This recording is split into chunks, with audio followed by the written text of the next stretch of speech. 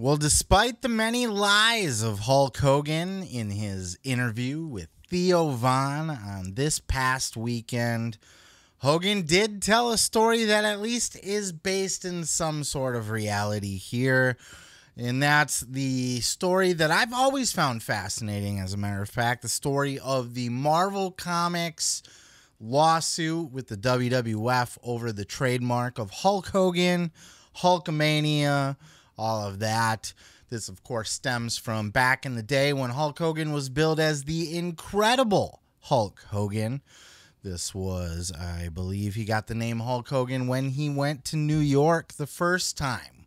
He worked for Vince Sr., he was given the name the Incredible Hulk Hogan. I don't think he had it before then, but he might have. And then, of course, he had it in the AWA.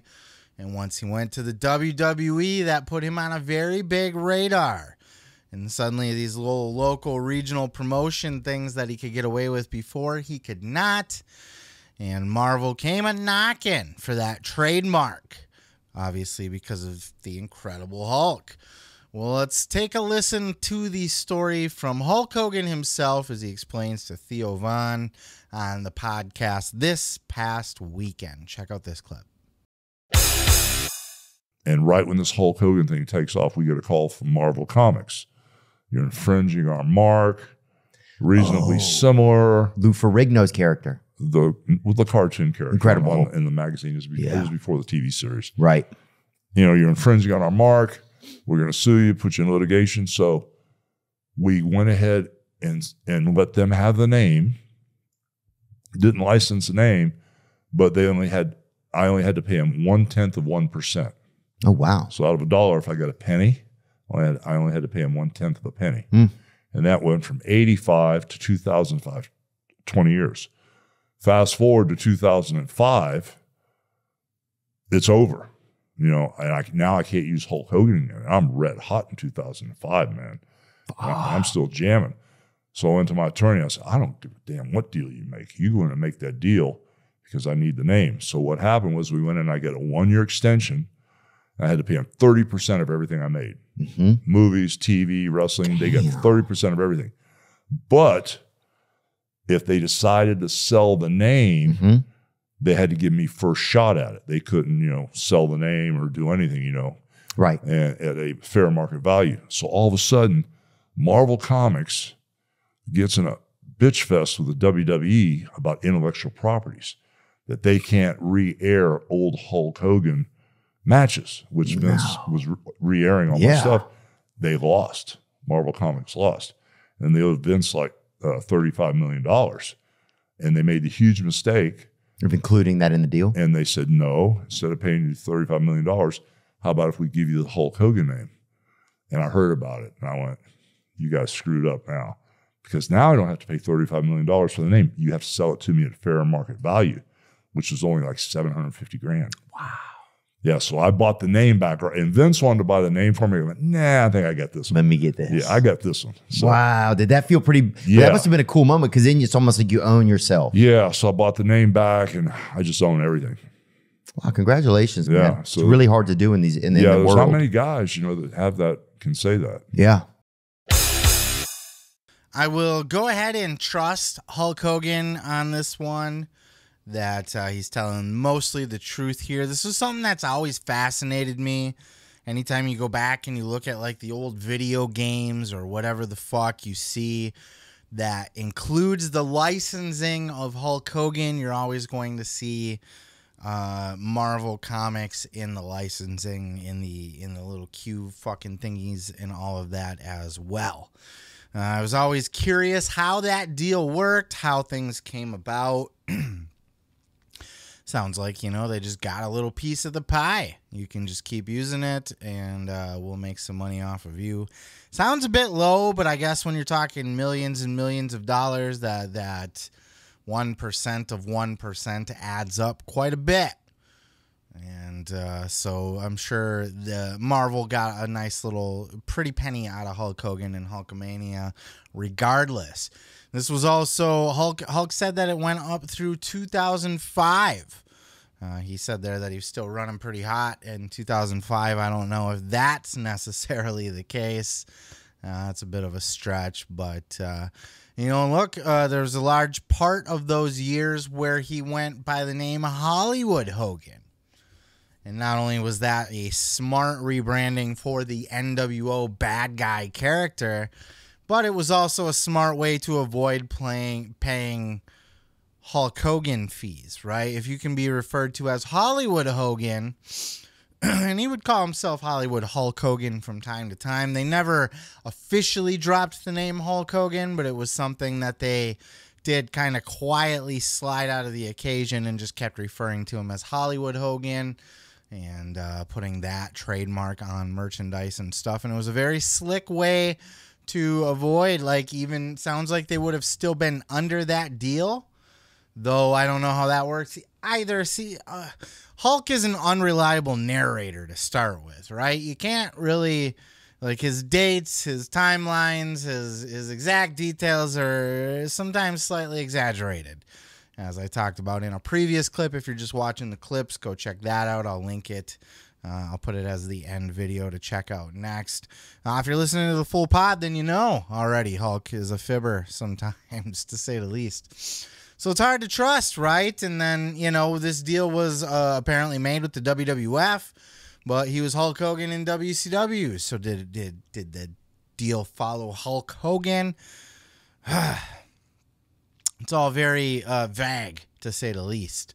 I would like some more clarification. If anybody is smartened up to that that's watching this and wants to leave it in the comments, that would be dope. But uh, you know, anyway, they quickly transitioned to Hollywood Hogan, and it was a good way to avoid paying those marks for uh, a great number of years.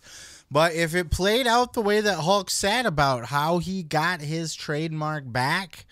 And of course, there was absolutely a period of time there where Marvel was on the verge of bankruptcy. and they would have been liquidating assets. And that's how a lot of that shit, that's how a lot of the studios acquired the movie rights to a lot of the Marvel characters, in fact, and why a lot of the Marvel characters have not been used or even referenced in a lot of the MCU movies.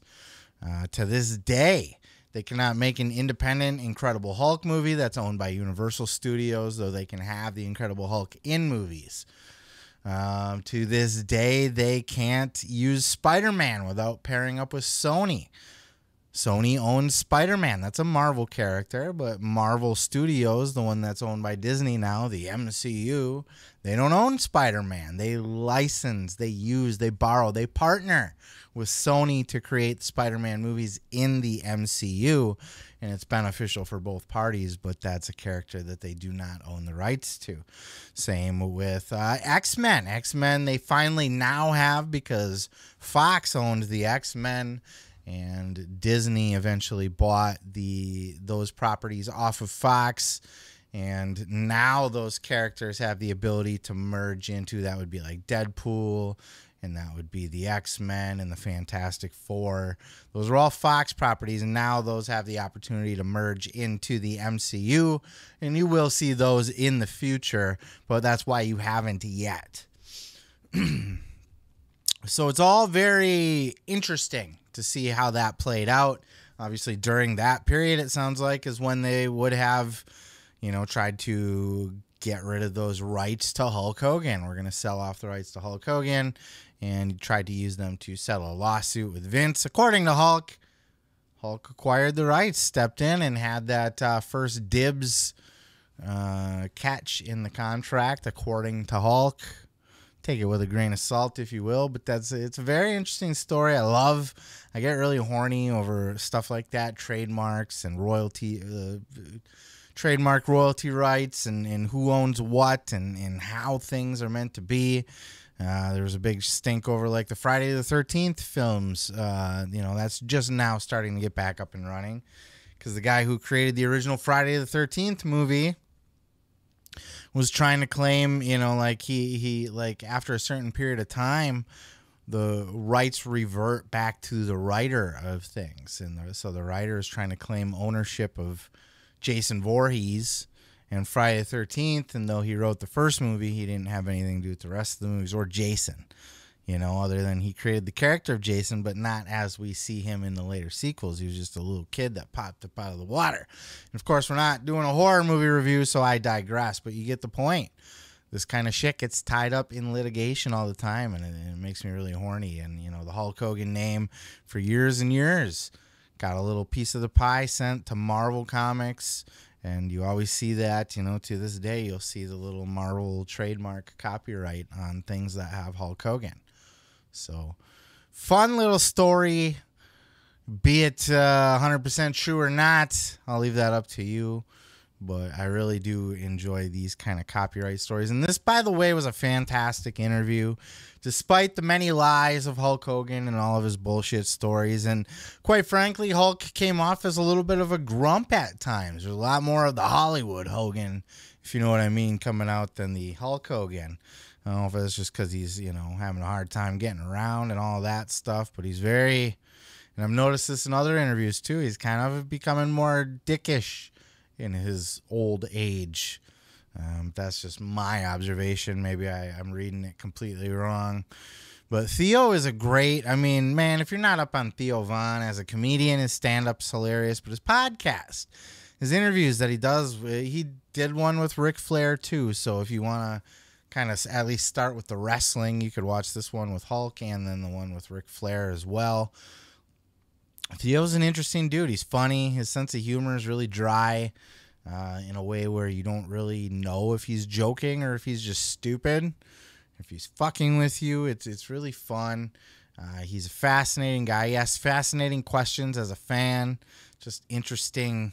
You know, he, he tells a good story throughout. You know, he takes the Hulk through a really good journey of, you know, kind of answering questions for a wider audience that maybe is obviously heard of Hulk Hogan, but are not wrestling fans per se. So, really cool shit. Link in the description below. Let me know your thoughts if you caught it, if you uh, have any insight more into this lawsuit type situation. Holler in the comments below.